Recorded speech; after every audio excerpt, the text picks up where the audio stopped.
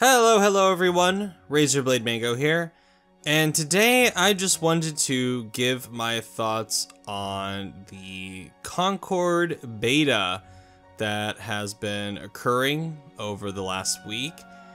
And one thing before I start talking about the beta itself, I find it very revealing that Sony decided to open the supposedly pre-order exclusive first beta to all PS Plus members on PS5 about a day or maybe even less than a day before that beta went live. So if your sole reason for pre-ordering the game on PS5 was to get into the first beta and get those, you know, codes for your friends, uh, whoops. Sorry, you, just, you wasted your pre-order. No refunds. Sorry. So this is Concord, of course. This is the upcoming 5v5 PvP hero shooter from the new PlayStation Studio, Firewalk Studios. They are made up of alumni from Bungie, and they have people from Call of Duty and Halo on the team. I've talked before about this game and how its road to release has been not particularly great, at least from a reception standpoint. I made a point in my last video where I talked about where I thought just the idea of Concord was a mistake, or seemed like a big mistake. I said that for a lot of people, the make it or break it moment is going to be this beta when they finally get their hands on the game and they see for themselves. So, now that I've played Concord for myself, I am coming here to tell you all that I think Concord is just okay. And that's the problem because in my opinion, in order for it to have a really big shot at, at success, it needed to be much, much better than just okay. Because just okay is not going to cut it for an oversaturated market that, that this game is coming into.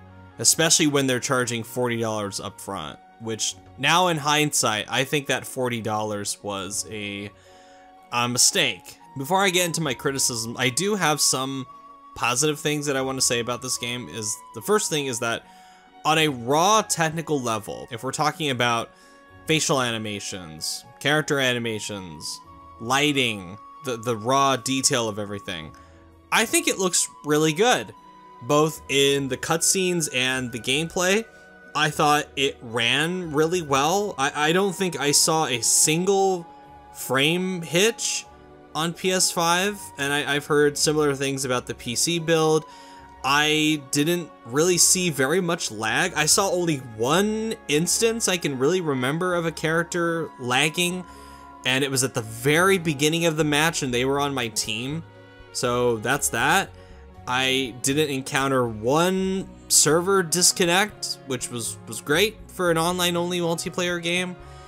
And if we're talking about the gameplay itself, I think it can be fun, when the team synergy is just right. When you get the right kinds of team members where they actually play their roles really well and they actually stick together and they don't go running off to play like fucking Call of Duty or something, it can be an enjoyable time. I mean, the, the times where I've had the most fun are when the teams have stuck together and I'm playing as like a support character, like like the sniper lady or the the junk rat lady where she's like blowing fucking grenades all over the place, and that was fun. And then you have the healer that I actually quite liked, the the the guy with the the hat who actually has a pretty decent primary weapon himself, and then he has this healing aura that he can stand there and the teammates around him can heal and when when you get into a role you really like and you're able to support the team really well that's when concord is at its best and this is actually one of the more controversial elements of the, be the beta and probably the game. But I actually did not mind the really long time to kill. I think the, the long time to kill actually worked well with the fact that there is no regenerative health. So you have to actually explore the map and either come across a healer or find one of the spots on the map where you can stand there and heal. And I, I guess I'm in the minority on this, but I actually really liked the long, the long time to kill. I thought that was fine. I thought that was a really nice contrast to a lot of games where I feel like the time to kill is so fucking short. Where it's like as soon as somebody just gets one or two bullets in you, you're you're done. You're just dead. And I like that this game actually gives you a chance to maneuver away and regroup and, and heal up. And I actually really liked that, especially with some of the more, you know, quicker characters that had lower health. And I thought as far as the time to kill, I didn't have a problem with it. Some of my favorite characters were, like I mentioned, the, the healers. I really liked Haymar, the lady with the, the fire powers and the crossbow. I thought that was surprisingly fun because when I first encountered her and I, I played her, and I realized I had to load every single time I wanted to fire another shot from her crossbow, I thought, oh no, this is not going to be fun. But I actually thought the damage output from that one bolt that you're able to fire before reloading was pretty powerful and fair enough. And I really liked her powers where you send that wall of fire out there or the stun ability. And she was honestly probably my favorite character from the beta, if, I, if I'm being honest. Now, I think the defining feature of this game is actually maybe, I would argue, maybe its biggest weakness, or one of its biggest weaknesses, and that is the emphasis on cutscenes and narrative. Because the three cutscenes that they've released have some of the most like flavorless writing I have heard in a modern video game. And besides the green Star-Lord knockoff doing or saying the rare silly in quotes thing, there is zero personality to these cutscenes. A lot of it is just these characters standing around and just blabbing the, the most generic shit you could possibly imagine and just just having this exposition dump on what the world is or why I'm supposed to care about the fucking map of the, the ship or why should I care about these characters being indoctrinated into the, the Free Gunners initiative or I don't know. I don't even think the MCU comparison that people have been throwing around fits because Concord doesn't even really go for that kind of joke telling. I mean, I'm glad that it doesn't because you know, like thank God uh, I don't I don't want to hear them undercutting their their own world every 5 seconds with jokes. Uh, I but at the same time, it just I don't think that comparison is fair because again, it doesn't really attach any kind of identity to this game's writing. It's just so just hollow and the thing that it reminds me of is that there's this old South Park episode. I think it's from I think it's even from season 1 or 2 where the children, the, the South Park school is are putting on this Christmas play. I think it's actually the Mr. Hanky episode in the in the season 1 where the townspeople start to get more and more progressively more and more offended by things that are in the Christmas show. Things like the presentation of, of Jesus and the fact that there's a nativity scene or a, a mistletoe. Just the you find one person in the town that's like, I'm offended by this, and they just remove it from the play. And by the end of the episode, the play that they're able to do that doesn't offend anyone is this weird dancing interpretive nonsense that just pisses everybody off. And that's that episode kept coming to mind as I was watching the cutscenes from Concord because it's like they went out of their way to remove any kind of quirk or or wit or sass that could offend somebody or or trigger somebody's microaggression or something. I don't know. Like it, it feels like a game, at least as far as the narrative goes, that was designed by a bunch of Kotaku writers, where they go, "Oh, please, please don't write an article about me about how there's an element of this game that's offensive, please." Man, if these boring assholes standing around the ship spewing this boring crap, and, and the occasional flat quip is all we can expect from these weekly cutscenes, I mean, Jesus Christ. Uh, oy, oy, oy. And I think what doesn't help either is that I think, like I mentioned on the the game, as far as the graphics, the raw technical aspect of it is fine. It's it's good, but the art direction is just kind of ugly, and, and I just don't really like the look of any of the maps. They look so forgettable to me. But the biggest sin are the character designs, which just look fucking butt ugly. Just all of these, almost all of these characters just look like utter shit.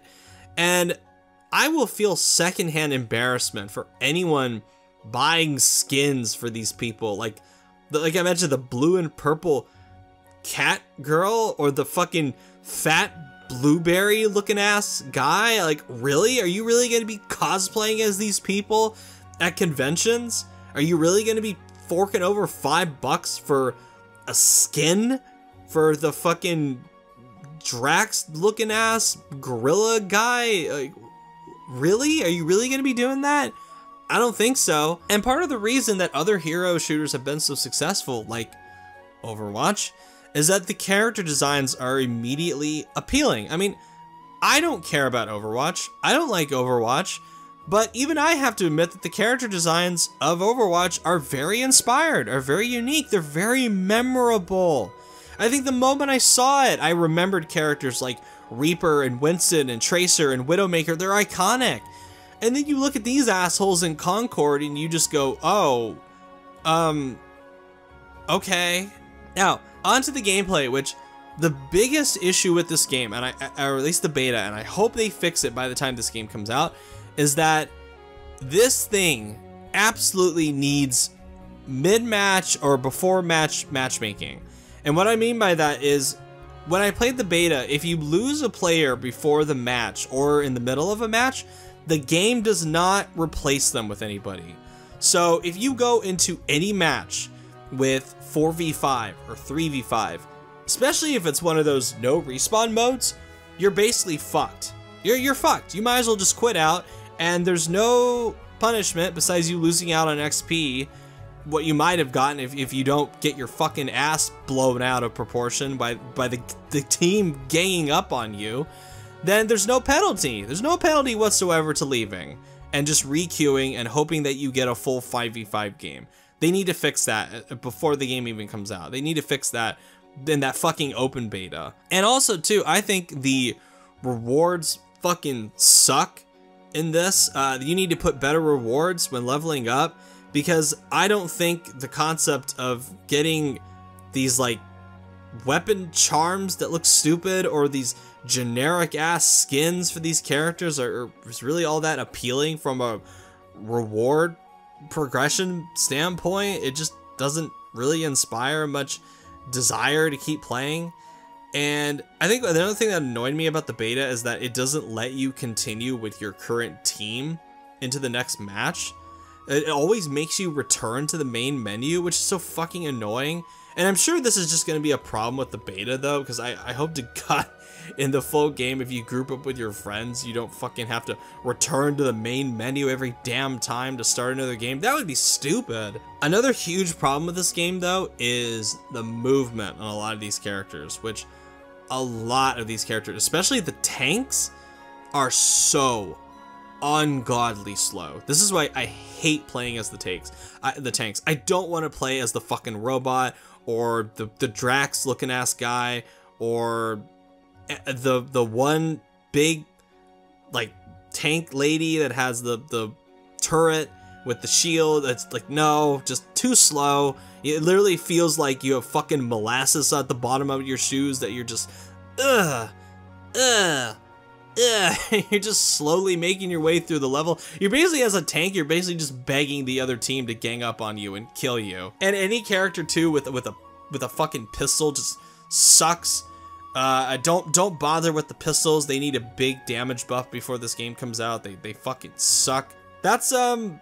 Those are my overall thoughts on the the Concord beta. A after playing Concord for myself, it really it convinced me that my theory of Firewalk being a panic acquisition for PlayStation was absolutely correct.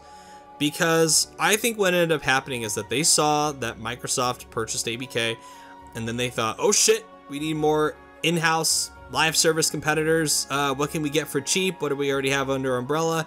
Uh, oh, Haven, uh, yeah, get them. Uh, Firewalk, yeah, get them for probably Monsters. Sure, yeah, we'll make them in-house. Yeah, we need more live services to compete because now Microsoft has Call of Duty and Overwatch and a bunch of other live services under their belt with Activision. We need more. And it feels like Concord is a leftover from the, thankfully, short lived Jim Ryan live services galore era that thankfully blew up on the runaway before it even took to the air, mostly. And there's a quote from Jim Ryan during his tenure where he openly admitted that some of the live services they were developing would not be successful. And I have to wonder if one of those games that they were internally labeling as a failure, a possible failure, was Concord. Because I just have a hard time believing that a group of people all sat in a room and looked at this and went, yeah, this will be a success. I think you could ask anyone off the street, like just show them this trailer and go, do you think this game will be alive after a couple years? And I think most people go, no. Again, it really is telling that less than a day before they dropped the beta, they decided, oh, let's open up the beta to everybody on PS5 that has PS Plus. Not just PS Plus Extra, not PS Plus Premium, all tiers of PS Plus, which that to me is a very obvious sign that they did not get the pre-order numbers that they wanted on PS5 at least.